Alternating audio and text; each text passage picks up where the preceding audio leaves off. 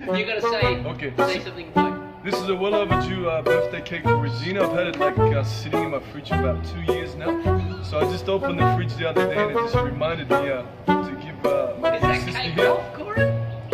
No, it's just like it was baked yesterday. Two years Two old. years so, uh, so Regina, this is way overdue, but happy birthday. Here,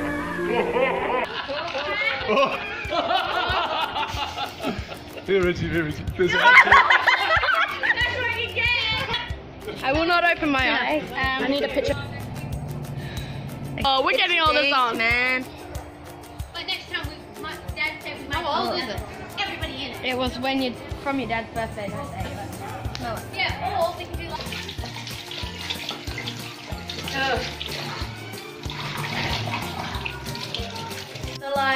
I thought I was gonna get like actually eat the cake, but it just got shoved in my face. That was so weird.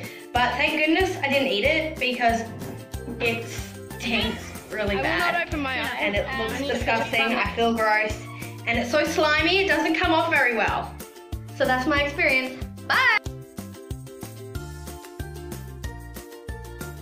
Just be yourself and feel alive. Us guys are going to be feeling alive. Okay. Do that. Okay, Matt. Oh, oh, look at that. Brother Matt.